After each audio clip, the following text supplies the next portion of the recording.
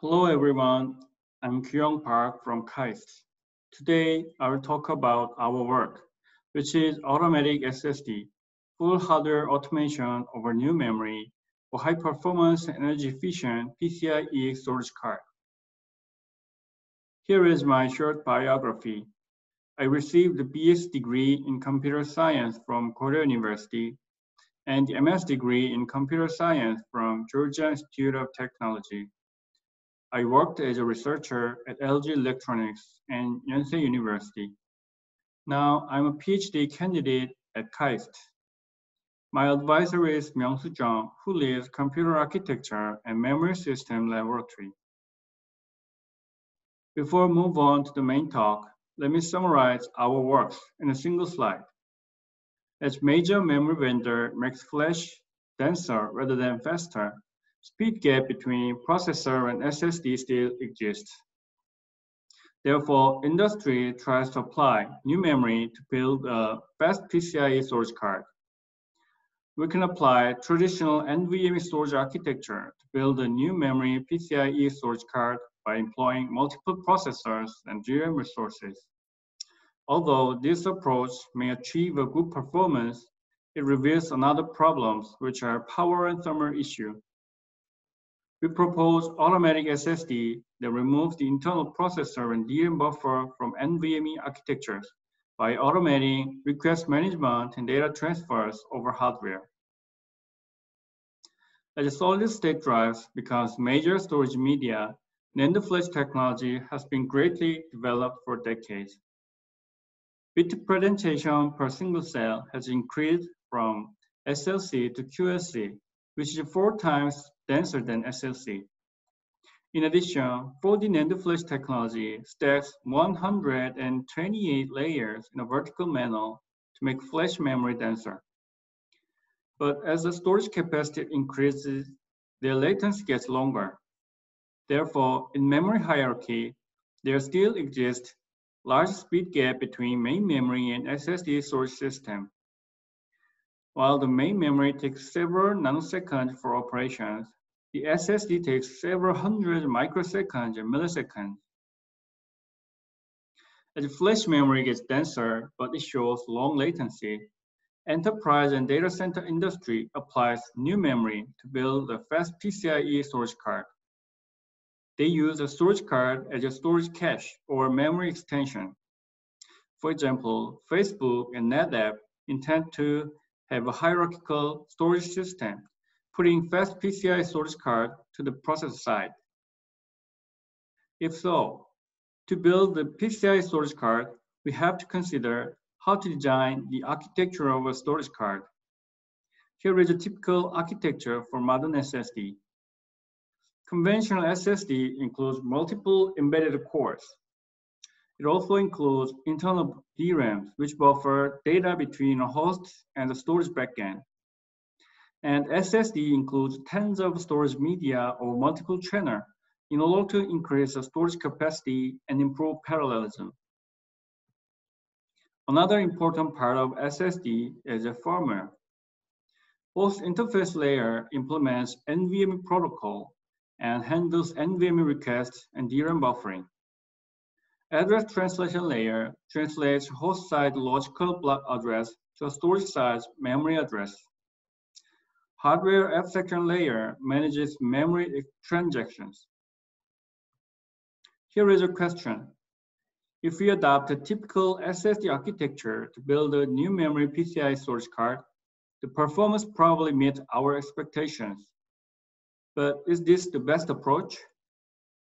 We believe this is not the best approach. Next, we consider several challenges for a new memory PCIe storage card. Here is a latency breakdown of our firmware-based storage card. We use our customized platform because there is no publicly available platform that we can analyze the internal latency for a new memory. The firmware latency on the I.O. data path accounts for 98% of the total I.O. service time at the device level. It means that the firmware latency is hard to overlap with IO burst PRAM latency. the firmware latency cannot be hidden behind the fast new memory. Though we can have more powerful processor to reduce the firmware latency, it can occur power consumption issue. The figure shows that Intel Optane SSD, which is PRAM-based PCIe storage card, consumes four to six times power than middle-end flash-based SSD. Another challenge of firmware-based approach is high operating temperature. Figures show changes of temperature according to operation time. In this measure, we use firmware-based commercial SSD.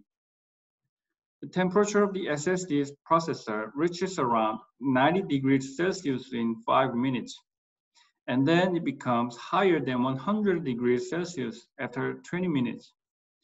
In addition, such high temperature is propagated from the processor to the storage backend it makes the device unstable and degrades the system reliability. To address these challenges, we propose automatic SSD. The inside of this work is that new memory like PRAM does not require complicated operations such as block allocations and garbage collections because PRAM is byte addressable and overrides a storage cell without erasing operation. Automatic SSD removes the embedded processor and DRAM buffer, and it replaces firmware components with hardware modules. Host interface layer is replaced by three hardware modules, which are singleton, fetcher, and terminator. Singleton module maintains NVMe context registers. Fetcher module fetches SQ entry from host side memory and converts it into internal commands. Terminator module informs the host for the I.O. completion by generating CQ entry. Address translation layer is replaced by direct I.O. module, which translates addresses and transfers data. Hardware abstraction layer is replaced by PRAM memory controller and PRAM module, which makes the storage backend. Now, I will show a request handling flow in write case. A host rings SQ doorbell. This informs the device of an I.O. request in NVMe protocol. Fetcher gets SQ entry and parses it. And then Fetcher signals Direct I.O. to handle the request. Direct I.O. reads the requested data from host side memory. And then it writes the data to PRAM modules by striping style. After finishing of writing data, Direct I.O. informs terminator of I.O. completion. Terminator sends an interrupt for host to process remaining works. Next, I will describe more details of Direct I.O. module, which is the core of automatic SSD. Before move on to the details of Direct I.O., let's consider how to implement the general data transfer mechanism. The goal of direct I.O. is to transfer data between the host side memory and PRAM storage backend efficiently. AXIBus has write and read channels, which is a memory interface used in most hardware designs. However, an AXI channel should be matched with same AXI channel on the other side. Cannot be matched with the opposite channel. Therefore, inside DMA engine, we need additional logic to forward data to the other side. Also, one DMA engine should handle both read and write requests, and requests are serialized. It is in inefficient. Therefore, direct I.O. connects opposite AXI channels directly. The idea is simple. First, we separate the DMA engine into read engine and write engine. And then we split AXIBus and assign one channel to each engine separately. Finally, in each engine, directly connect opposite AXI channels using AXIStream interface, which is unidirectional AXIBus. Direct I.O. does not need additional logic to forward the data, and both read and write requests can be processed simultaneously. Now, I will show data stripping method used in automatic SSD. One storage block size is 4 kilobytes, and a single block splits into 8 chunks by 512 bytes. Storage backend consists of multiple PRAM channels, and each channel is accessed by 512 bytes unit. When a single block write comes, eight chunks are striped in multiple PRAM channels in parallel. In read case, the process is same with the write case. Hmm, only a data direction is opposite. One of the important parts of SSD's firmware is wear leveling. If SSD has no wear leveling, continuous programs on the same location makes the block wear out. But we have many blocks not programmed yet. This degrades the efficiency of block utilization in SSD. If SSD has a wear leveling feature, programs are distributed evenly on different blocks which increases the efficiency of block utilization. However, this feature have to include a complex software and hardware resources. So in automatic SSD, we apply a simple wear leveling algorithm inspired by start gap wear leveling. For example, we have eight blocks and empty block. There are two registers, start and gap. Start points to an initial block and a gap points to an empty block. Continuous memory writes are coming until the number of memory writings reaches some threshold. When the number of memory writings reaches some threshold, gap is removed by one location, copying the contents of a neighbor block. At every threshold, the empty block moves and neighbor blocks are shifted. By this mechanism, the address of blocks are changed and continuous programs on the same block can be avoided. Although this method is not as powerful as a wear leveling in conventional SSD, it is acceptable because PRAM's endurance is much better than NAND flash. Address translation is a simple algebraic calculation. For example, we access the logical address 3 and gap is 5 then the physical address is 3. When we access the logical address 5 and gap is 5, the physical address is 6, which is 5 plus 1. By this simple calculation, we can implement the address translation and wear leveling without a complex software and hardware resources.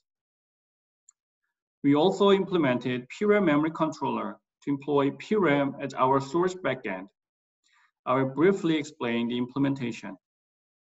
Scheduling module separates read and write requests. Buffer managers gets data from the write buffer and programs data to PRAM module. NVDDL translator converts IO request to PRAM NVDDL operation command. DDL timing generator generates DDL commands based on DDL specification. This figure shows a floor plan view of our prototype. You can see main hardware modules and six PRAM memory controllers. We prototyped automatic SSD on a Virtex 7 FPGA custom board. Resource utilization is under 30%, and we still have enough room to employ other hardware resources. Our testbed has 3 GHz CPU and 32 GB memory. Storage card uses a Virtex 7 FPGA and PCIe Gen 3 8 lanes and 6 PRAM modules. We compare automatic SSD and firmware SSD. Both prototypes have same operating frequency and PRAM backend storage. The difference is hardware and firmware execution. In microbench test, we used FIO benchmark tool with 10 threads. We selected real workloads from SNIA traces and we measure the temperature using thermal imaging camera. This figure shows bandwidth and latency normalized to firmware SSD. Automatic SSD shows at least 25 times better performance than firmware SSD in read bandwidth. As the size of request increases, the performance gets higher and is saturated 16 kilobytes. In write bandwidth, automatic SSD shows at most 25 times better performance than firmware SSD. The bandwidth of sequential access is better than random access because data from multiple threads can be aggregated in sequential access. Due to PRAM's slow write latency, the benefit is not as high as read. In latency analysis, automatic SSD reduces the latency of firmware SSD by 98% and 96%, as we expect from bandwidth analysis. Let's look at request series analysis for energy efficiency. We can see a clear efficiency gap between automatic SSD and firmware SSD. This figure shows SNIA workload performance normalized to firmware SSD. The bandwidth of automatic SSD is eight times better than firmware SSD average. Also, the latency is reduced by 80% compared to firmware SSD. Specifically, in read-dominant workload, it shows 19 times better bandwidth and 95% lower latency. In CDF of web user and edge server workload, most I.O. responses of automatic SSD are received in 100 microseconds, whereas firmware SSD has no response until 600 microseconds. We measure the operating temperature for about one hour. Point one is FPGA chip, where automatic SSD is implemented. Point two and three are related to PRAM storage backend. We can see the temperature variation of automatic SSD is sustainable at each point. Today, we introduce automatic SSD. Firmware approach for new memory storage card needs more computation resources, such as high-frequency processor and DRAM buffer, which introduces power consumption and thermal issue. Automatic SSD removes the internal processors and firmware execution by automating the request management and data transfers over hardware automatic SSD achieves lower operating power and better performance than firmware SSD. Also, it shows the sustainable operating temperature for a long time execution. This is the end of my presentation. Thank you for listening.